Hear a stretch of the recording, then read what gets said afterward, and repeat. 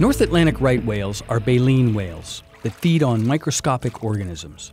They can grow up to 52 feet long and live 70 years or longer. North Atlantic right whales primarily live along the east coast of the United States and Canada. They feed and mate in the northeast for most of the year. In the winter, some migrate down the coast where pregnant females give birth in the warmer waters off the southeastern United States. They travel alone or in small groups and can be seen swimming and eating together at the surface. As a result of whaling, the population was driven from historic numbers as high as 10 to 15,000 or more animals to the point where we are now looking at roughly only 400 North Atlantic right whales. North Atlantic right whales are now one of the world's most endangered large whale species. While commercial whaling in the United States is no longer legal, impacts from human activities are still the greatest danger to North Atlantic right whales. North Atlantic right whales live in coastal areas with high boat traffic, so they're especially vulnerable to being struck by boats or ships. Another principal threat to right whales is entanglement in fishing gear. The right whale drowns as a result of entanglement, or it can be a chronic event, in which case a right whale will become entangled and then suffer the effects of dragging that fishing gear around Another threat to right whales is simply a small population size. The population can turn quickly. It can be growing and bang, the population is declining. At least 17 North Atlantic right whales died in 2017, which was 4% of the population. While this number was unusually high, we know of at least 13 more deaths since then.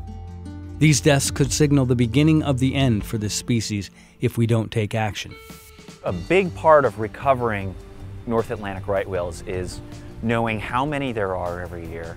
We do aerial surveys as well as vessel surveys, and then we work with our partners to count and identify all the individuals as well as collect a lot of additional data on. We can see if they've become entangled.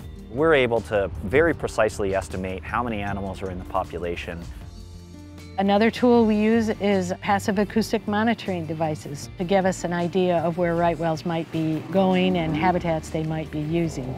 We administer and support a large whale disentanglement network where volunteers and our partners attempt to disentangle right whales our main goal is to try and prevent entanglements in the first place. And so we're working with fishermen to modify gear, manage when and where fishery gear is placed. NOAA Fisheries has also implemented regulations to protect right whales and reduce fatalities from vessel strikes. Everyone, whether they're on the water or in the air, including boats, kayaks, paddleboards, airplanes, or drones, must stay at least 500 yards away from any right whale. NOAA Fisheries designated North Atlantic right whales as a species in the spotlight in 2019. Including North Atlantic right whales and the Species in the Spotlight initiative will help raise awareness with the public, increase our efforts within NOAA to work with our partners, and also aid in finding new partners to help us recover the species NOAA experts and partners are doing all we can to address this urgent conservation challenge. You can help too. If you see a right whale, report it through our hotlines or by using the Whale Alert app on your smartphone. By knowing where right whales are, NOAA can alert mariners so they can slow down or avoid the area. Spotting entangled whales and alerting the disentanglement network may also lead to life saving interventions for these whales. There's an amazing network of partners and NOAA fisheries staff hard at work to help recover the species.